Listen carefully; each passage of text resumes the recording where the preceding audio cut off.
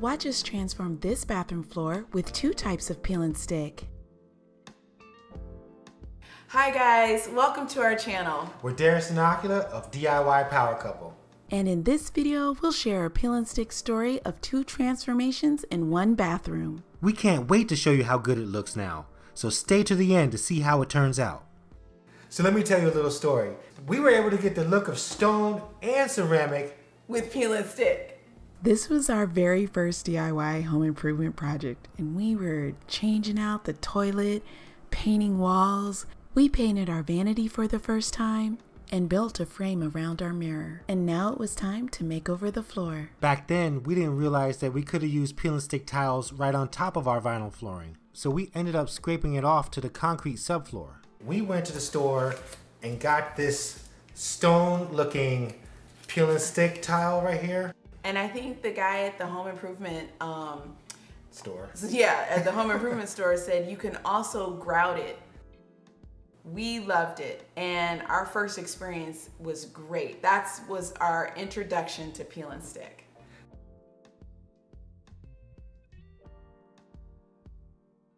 Then we had a pipe leak. My gosh. The leak not only destroyed our bathroom flooring, but our hardwood floors as well. We came to the realization that we have a big DIY project ahead of us. So I got the kids and the floor scraper and we just went to work on it. The nice thing about all of this is that the entire family came together.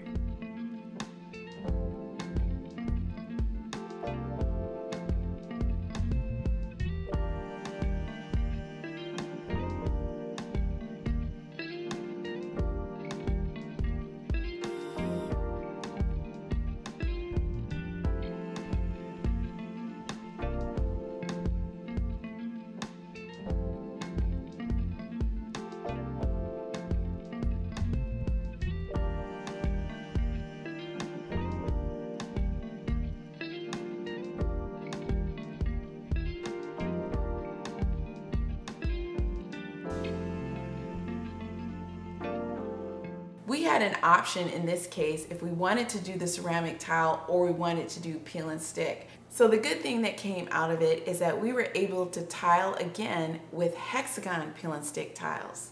Dry layouts definitely help with all of our projects. And if you are considering this DIY to peel and stick a bathroom floor, make sure you check out our peel and stick flooring playlist.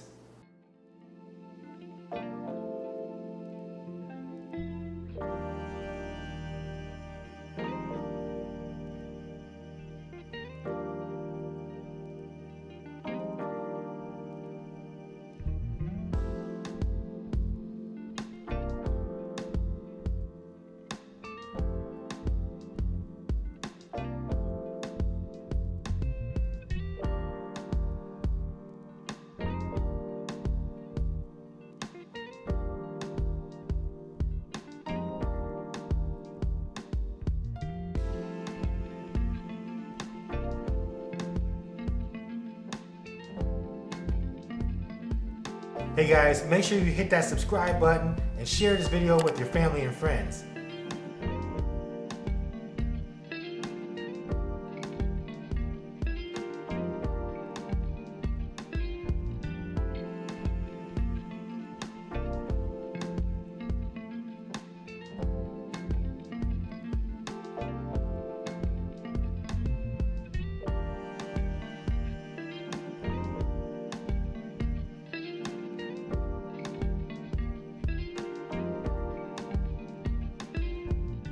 Hexagon tiles have a lot of sides and they also require a lot of patience. The repair to our concrete subfloor was a little uneven.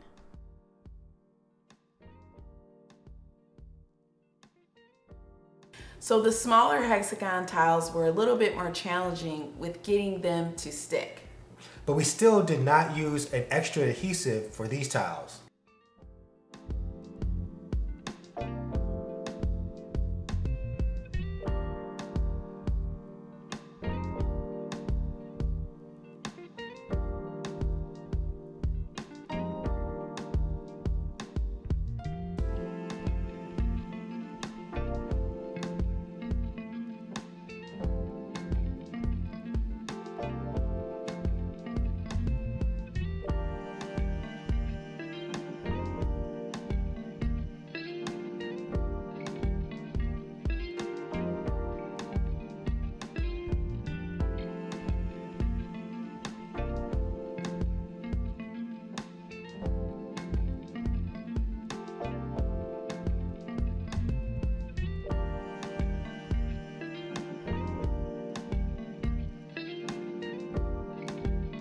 The challenge with grouting hexagon tiles is that you have to make all of your grout lines look even. Yes, and there's a lot of them. There's a lot of grout lines, and you have to use a lot of spacers.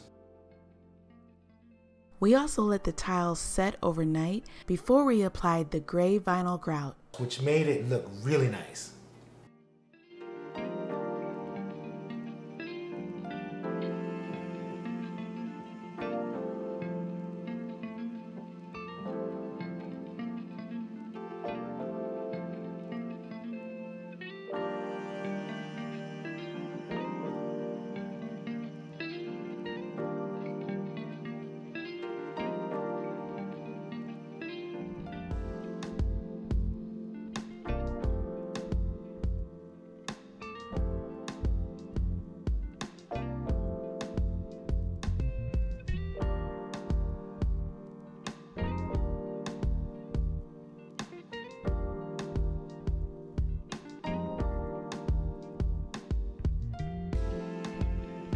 We always wanted to paint our tub, and this was the perfect opportunity while we waited for the grout to dry. We will leave a link to all the bathroom DIY projects in the description.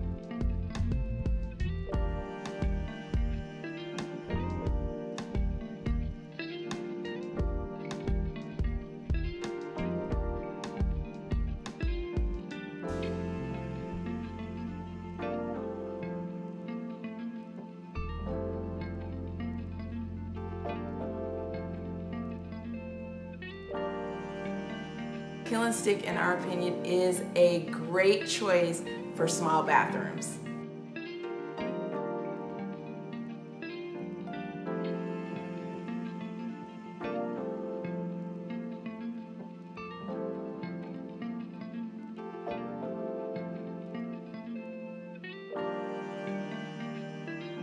We hope you've enjoyed watching this small bathroom flooring transformation with peel and stick tiles.